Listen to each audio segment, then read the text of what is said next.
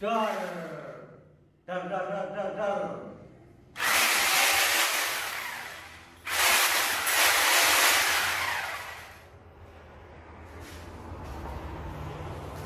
Nah, oke guys, kaset channel balik maning guys.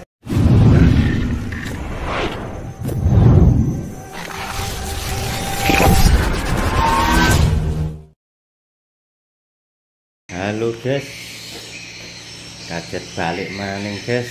Assalamualaikum warahmatullahi wabarakatuh lur. Gimana kabarnya lur? Semoga sehat sukses selalu lur. Tetap dalam lindungannya, dimurahkan rezekinya. Terima kasih untuk semua saudaraku yang sudah mendukung support kaget channel. Matur thank you. Guys, ini kaget di apa ini? Ruangan mesin ya di ruangan mesin rumah burung walet guys ini nah sini pintunya ini pintunya double dua sini sama sana ini luar sana. Nah, ini luar.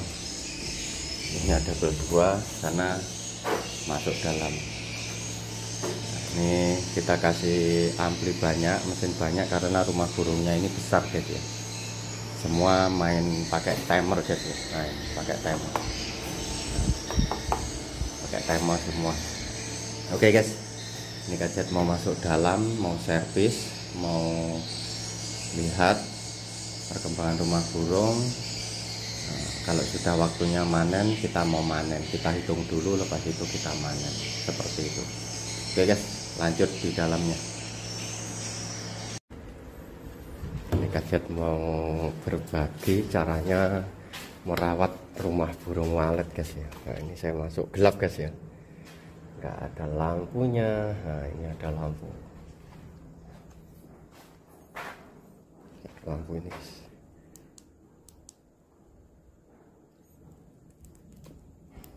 Nah ini.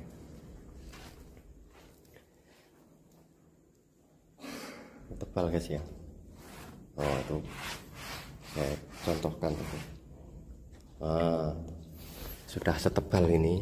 Ini kotoran burung walet guys ya. Nah, caranya itu kalau rumah burung itu kalau kotorannya sudah tebal seperti ini ini kan sudah tebal ini. Nah ini kalau bisa itu dibersihkan guys ya. Nah, seperti itu. Ini yang sudah ada burungnya guys ya. Kalau yang belum ada burungnya banyak yang masih sedikit itu kotorannya jangan dibersihkan. Tunggu biar banyak. Nah, seperti itu. Kalau sudah merata seperti ini ini kan sudah merata penuh-penuh ini. Nah ini. Semua di lantai itu sudah penuh semua. Nah itu sudah tebal kurang lebih seperti ini.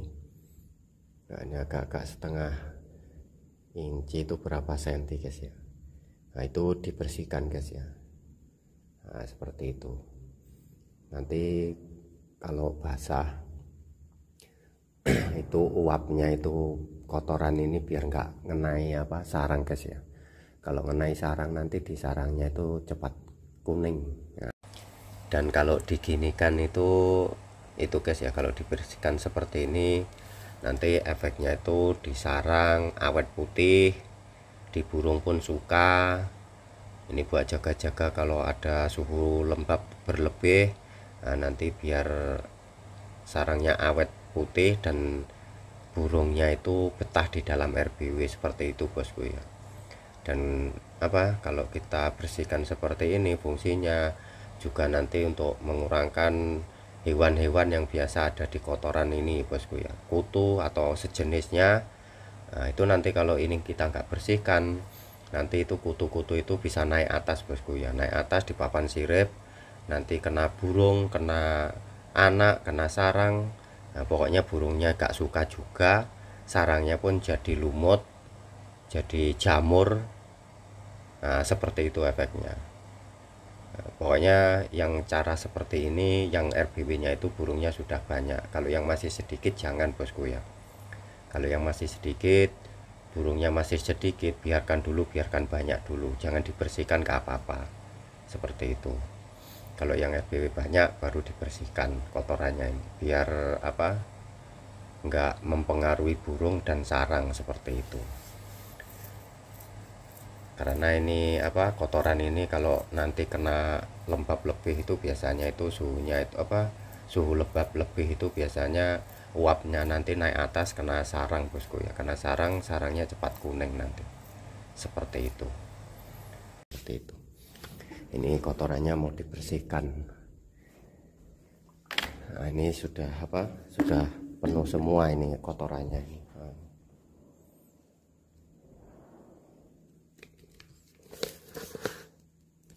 nah itu sarangnya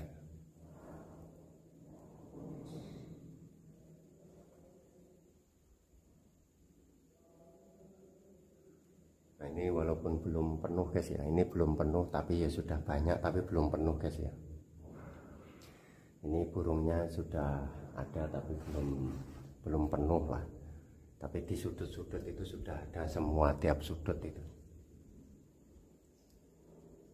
Wah itu banyak sudut guys ya. Nah, itu sudut banyak.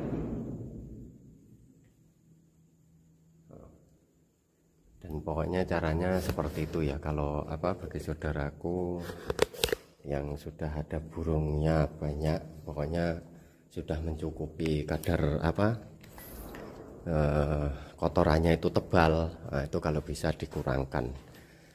Nah, ini kalau yang sudah ada burungnya, kalau yang belum jangan guys ya Nah, kalau yang belum apa itu banyak burungnya jangan dibersihkan. Kalau bisa itu nah, biarkan dulu. Nah, kalau yang masih burungnya sedikit, yang masih yang sudah banyak-banyak saja baru dibersihkan. Ini kajat mau itu tadi tingkat tiga itu guys. Ini kajat nah ini sudah apa bersihkan. Nah ini ini sudah dibersihkan nah ini kotorannya nah itu dibersihkan pun jangan bersih 100% guys ya nah, mau ditinggal sedikit-sedikit seperti ini nah ini kan nggak bersih 100% nah ini sudah dibersihkan.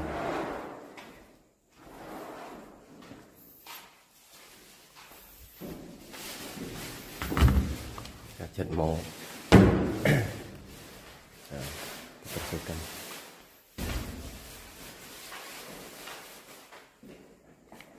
Nah ini rasa resik-resik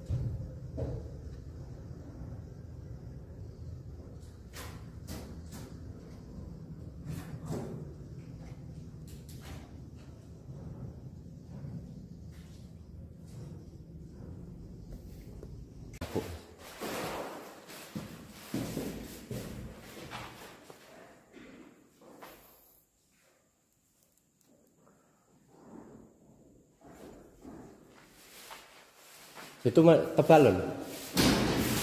Hah? Tebal lah sih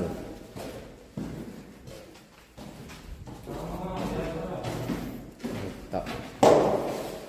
Tak payah bersih sangat pokoknya bagi kurang nanti staging jalan senang.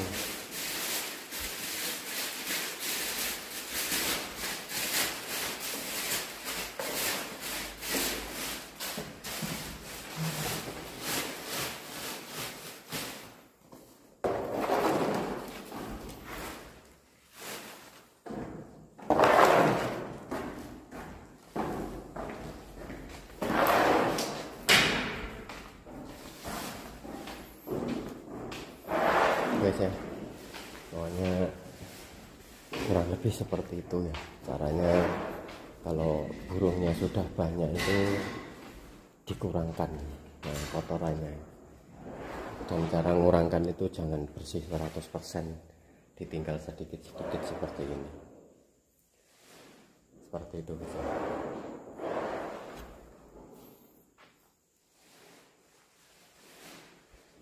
sana lubang. Ini lubang kedua nah ini apa? Di tempat terang ini ada juga sarangnya. Saya itu anak tapi gak begitu banyak lah sini. Ini tempat terang itu ya, lubang masuk sana. Sini nggak terlalu banyak. Guys ya. Pokoknya caranya apa, merawat itu seperti itu kalau rumah burung sudah banyak. Pokoknya hitungannya kadar apa itu? Kotorannya itu sudah merata sudah penuh menutupi lantai agak tinggi sedikit agak tebal sedikit.